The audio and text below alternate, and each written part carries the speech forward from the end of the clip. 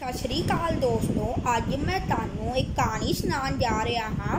ਉਸ ਕਹਾਣੀ ਦਾ ਨਾਮ ਹੈ ਵਾਤਾਵਰਣ ਨੂੰ ਸ਼ੁੱਧ ਬਣਾਓ। ਆਜੋ ਜੀ, ਬੋਲਦੇ ਹਾਂ। ਫੁੱਲਾਂ ਨਾਲ ਸ਼ਿੰਗਾਰੀ, ਧਰਤੀ ਦੁਸ਼ਟ ਹੋ ਗਈ ਸਾਰੀ ਧਰਤੀ। ਆਲੇ ਦੁਆਲੇ ਨੂੰ ਬਚਾਓ ਵਾਤਾਵਰਣ ਨੂੰ ਸ਼ੁੱਧ ਬਣਾਓ।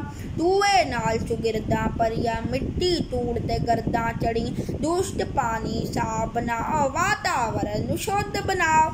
ਟਰੱਕ ਸਕੂਟਰ ਬੱਸਾਂ ਕਾਰਾਂ ਭੱਜੇ ਜਾਵਨ ਵਨ ਕਤਾਰਾ ਇਨ੍ਹਾਂ ਦਾ ਚੈੱਕਅਪ ਕਰਵਾਓ ਵਾਤਾਵਰਣ ਨੂੰ ਸ਼ੁੱਧ ਬਣਾਓ ਹਰ ਥਾਂ ਗੱਲ ਹੈ ਦੇਵੋ ਤੋਰ ਪ੍ਰਦੂਸ਼ਣ ਨਾ ਸਹੀ ਹੋਵੇ ਹੋ ਚੱਪੇ ਚੱਪੇ ਤੇ ਰੁੱਖ ਲਗਾਓ ਵਾਤਾਵਰਣ ਨੂੰ ਸ਼ੁੱਧ ਬਣਾਓ ਵਾਤਾਵਰਣ ਜੇ ਸ਼ੁੱਧ ਹੈ